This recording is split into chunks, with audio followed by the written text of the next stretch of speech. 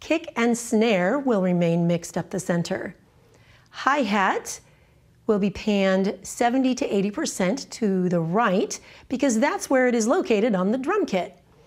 Your first rack tom might be panned 50% to the right, middle tom up the center, and your floor tom 60 to 70% to the left. Your overhead should be panned about 80 to 90% left and right.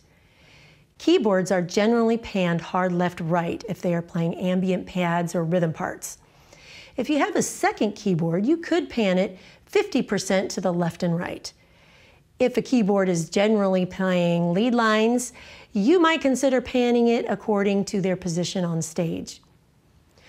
Acoustic guitar, which is in many cases what the worship leader might be playing, can be mixed slightly to either the left or the right, depending on where your other instruments are in the stereo field. If you have two acoustic guitars, Try panning them slightly opposite of each other. Electric guitars will normally be panned according to where they're standing. If there are two electric guitars on stage, pan them opposite each other to create delineation between the two.